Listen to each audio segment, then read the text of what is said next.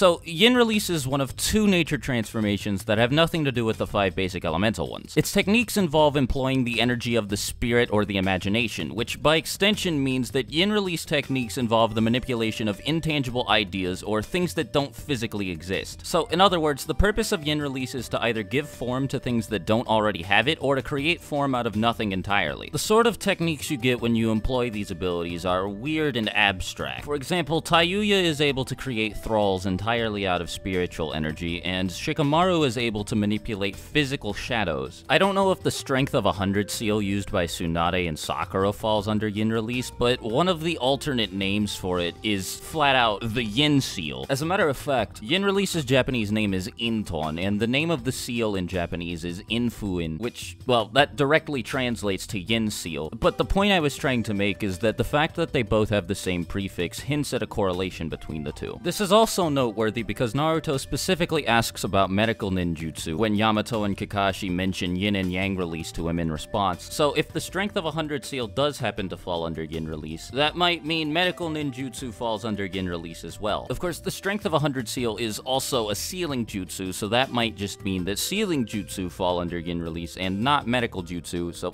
I don't know. Do with the information what you will. Anyhow, yin release's ties to the imagination and the spirit mean that it encompasses all of genjutsu as well. This isn't me speculating. The second Mizukage, who is essentially the authority on genjutsu, says that genjutsu relies very heavily on yin release. Now, while this would be a perfect time to explain how genjutsu works, it's getting its own video. Trust me, it's definitely complex enough to deserve one. But yeah, all genjutsu falls under yin release, including genjutsu cast with a Sharingan or Mangekyo Sharingan. This might not be the Sharingan's only ties with yin release, though. The manga directly states that Indra inherited his father's eyes and powerful spiritual energy, and since the Uchiha are directly descended from Indra, and they all also have the Sage's eyes, it's safe to say that many Sharingan abilities might actually be drawing from yin release. For example, the Susanoo and Amaterasu are both examples of creating form out of nothing, and there are plenty of genjutsu that rely on having a Mangekyo Sharingan. Of course, this is just conjecture, but I did think it was worth pointing out. Now, I know Amaterasu is technically a form of fire release called Blaze Release, but that wouldn't be the only example of somebody using an elemental ninjutsu and calling it Yin Release. For example, here's Madara using a technique called Sage Art Yin Release Lightning Dispatch that definitely looks like it should be a lightning release technique, but is not. I'm not saying I'm right. Amaterasu, in all honesty, probably has nothing to do with Yin Release, but as I've already said, I did think it was a connection worth pointing out. Unlike the five basic elemental nature transformations, Yin Release and likewise Yang Release have no advantages or disadvantages over any other nature transformations, including Kekkei Genkai. They're just sort of like their own thing. Speaking of Yang Release, I should be tackling it next week in a separate video, so you guys have that to look forward to, but until then, well, if you have anything you want me to talk about in a future video, leave it in the comments below, and if I like it enough, I'll make sure to get to it in the future. As always, hope you guys have a fantastic day. Hope to see you in my next video, and I'll talk to you later. Swagkage out.